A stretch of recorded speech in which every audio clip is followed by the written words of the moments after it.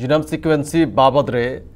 ILS ନିର୍ଦ୍ଦେଶକ ଅଜୟ ପରିଡ଼ାଙ୍କ ସୂଚନା କହିଲେ ଦେଶରେ ଚାଳିଶ ହଜାର ସାମ୍ପଲର ଜିନମ୍ ସିକ୍ୱେନ୍ସି ଅଠେଇଶଟି ଲ୍ୟାବ୍ରେ ହେଉଛି ଅଧିକ ସାମ୍ପଲ ସିକ୍ୱେନ୍ସି କରାଗଲେ ଡେଲ୍ଟା ପ୍ଲସ୍ ଭାଇରସର ସ୍ଥିତି ଜଣାପଡ଼ିବ ସମଗ୍ର ଦେଶରେ ଛଅଟି କେସ୍ରେ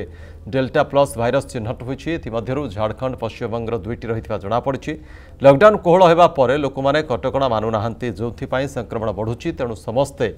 ସରକାରଙ୍କ ଗାଇଡ୍ଲାଇନ୍କୁ ଠିକ୍ ଭାବରେ ଅନୁପାଳନ କରନ୍ତୁ ବୋଲି କହିଛନ୍ତି ଆଇଏଲ୍ଏସ୍ ନିର୍ଦ୍ଦେଶକ ଅଜୟ ପରିଡ଼ା ସେପରି ଭ୍ୟାକ୍ସିନ୍ ନେବା ପରେ କାହିଁକି ଲୋକମାନେ ସଂକ୍ରମିତ ହେଉଛନ୍ତି ସେ ନେଇ ଆନାଲିସିସ୍ କରିବା ପାଇଁ ଟେକ୍ନିକାଲ୍ କମିଟି ଗଠନ କରାଯାଇଛି ଆଜି ଏହି କମିଟିର ପ୍ରଥମ ବୈଠକ ବସିବାକୁ ଯାଉଛି ଓଡ଼ିଶାରେ ଟିକା ନେବା ପରେ କେତେ ଲୋକଙ୍କର ଡେଥ୍ ହୋଇଛି ତା'ର ତର୍ଜମା ଚାଲିଛି ଦରକାର ପଡ଼ିଲେ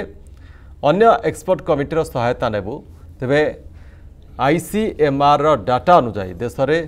शून्य दशमिक शून्य चारि प्रतिशत प्रथम डोज और शून्य दशमिक शून्य तीन प्रतिशत सेकेंड डोज नहीं संक्रमित होती आम समस्ते दुईटा जो वेव गला से समस्ते जाणिले